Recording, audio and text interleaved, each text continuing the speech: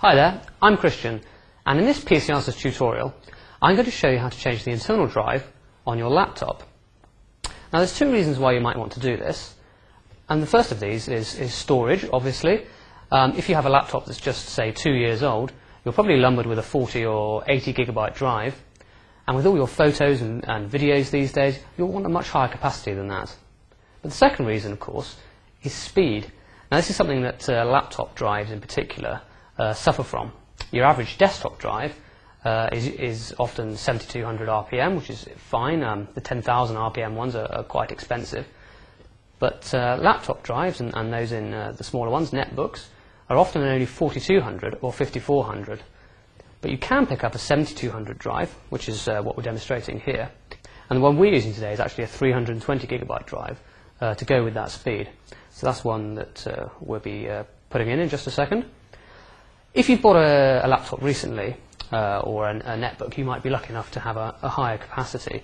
But it's, it's, it's, worth investigating what speeds you're getting, especially if you're looking to upgrade to Vista or Windows 7 when uh, that comes out in a few months' time.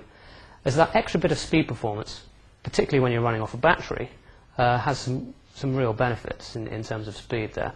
Um, so what I'm going to do is just uh, use this uh, laptop. It's an Asus 15.4 uh, inch. Um, and typically it has a handy slot at the back which just unscrews by uh, just uh, two or three screws. Um, and the configuration of most uh, laptops of this size are that uh, the panel is, is, easy to slide off and it's just a few screws that hold it in. And unlike your average uh, desktop, there's no uh, big cables involved at all. It's just a, a, simple sort of slot mechanism. So the laptop we're using here is a typical 15.4 inch uh, device. Um, and on the back here, um, you can see it's just a small compartment uh, which houses the entire uh, drive itself. Um, and it's just two screws on this particular model uh, that holds it in. Now they're quite deep, so you will need uh, a screwdriver that's got quite a long section to it. So if you've got a, a, a short sort of pocket screwdriver, it might not be particularly useful.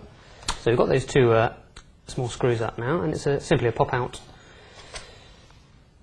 device. And now you can see the actual uh, chassis that uh, holds the drive in place. Now just like a desktop drive, it's uh, a series of screws that actually hold that uh, in its casing.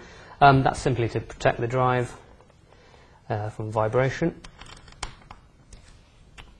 Uh, luckily these screws are much shorter and come out in one, one go.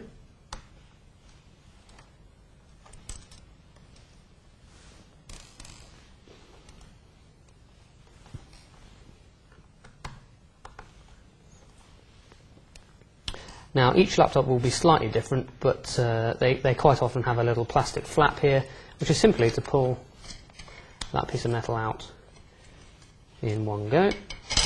And here we are, here's the uh, 2.5 inch laptop drive, as you can see it's actually upside down, that's the way they uh, usually go in a laptop. Um, it's entirely cableless, unlike your usual SATA uh, disk drive in your desktop.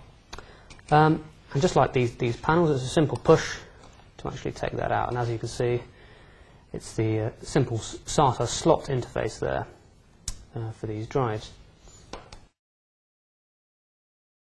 And the drive I've got here, as I said, is a 7200 RPM drive, so it's much faster uh, than the uh, original drive, and it's a 320 gigabyte capacity. This is the uh, Western Digital Scorpio. You can pick these up for about £50. Again, turn it over, and it will slide upside down back into position. Give it a good push and you'll, you'll know that it won't go any further when it's like that.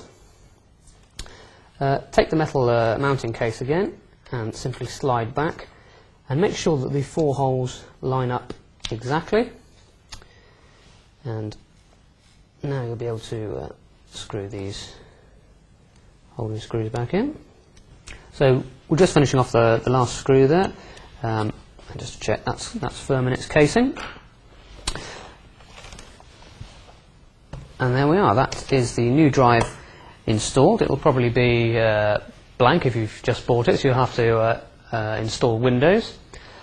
Now, some motherboards uh, of some particular laptops will actually recognize the new hardware recognise its different speed and capacity and will actually have a notification when you start the machine uh, before you install Windows um, that there's been a hardware change. But it should just ask you to uh, uh, press an F key uh, to uh, continue to uh, install or uh, run whatever software you want.